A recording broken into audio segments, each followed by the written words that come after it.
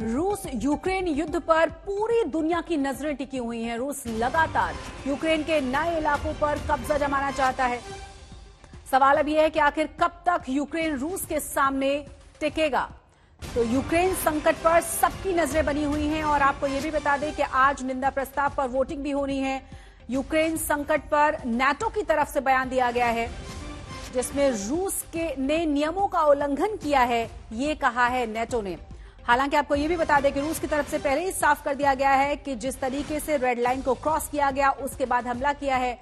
तो एक बार फिर से नेटो की तरफ़ से बयान आया जिसमें नेटो क्षेत्रों में सेना को तैनात करने की बात नेटो की तरफ़ से कही गई है।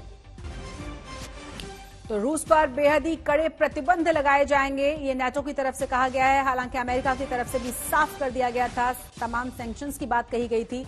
लेकिन यूक्रेन संकट पर नेटो की तरफ़ से जो ताज़ा बयान आया, वो हम आपको दिखा रहे हैं। रूस ने नियम का उल्लंघन किया है। आज निंदा प्रस्ताव पर वोटिंग भी होनी है। रात को भारतीय समय के हिसाब से डेढ़ बजे। तो कुल मिलाकर चौतरफा निंदा ज़रूर की जा रही है और उसी में नेटो की तरफ़ से कहा यह गया है कि रूस ने नियमों का उल्लंघन किया है। किसी भी कार्रवाई का जवाब देने के लिए तैयार हैं नेटो देश।